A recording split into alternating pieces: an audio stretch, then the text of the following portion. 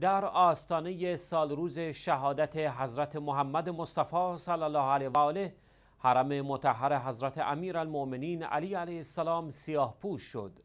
استانداری نجف اشرف و آستان مقدس علوی برای برگزاری مراسم سال روز شهادت رسول اکرم صلی الله علیه و آله در 28 ماه سفر مصادف با روز شنبه آینده آماده می شوند. لوعی الیاسری استاندار نجف اشرف طی نشستی امنیتی خدماتی با مقامات این استان طرح ویژه زیارت آستان مقدس علوی در 28 سفر را بررسی کرد. این نشست با حضور خالد الجشعمی رئیس کمیسیون امنیتی در شورای استانداری حسین الحدراوی رئیس کمیسیون خدمات رسانی در این شورا و معاونت امنیتی استانداری فرماندهی پلیس فرماندهان سرویس های امنیتی مدیران بخش های خدمات رسانی و نمایندگان آستان مقدس علوی برگزار شد.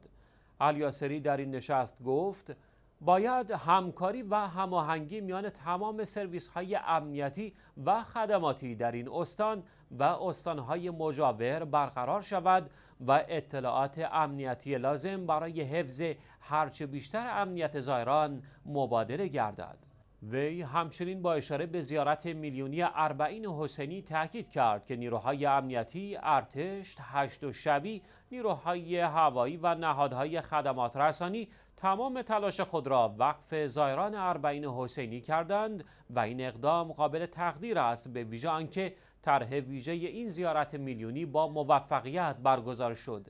الیاسری در پایان گفت شهر مقدس نجف شهر همه عراقی ها و همه شیعیان و همه انسان هاست و کار در آن یک افتخار بزرگ است.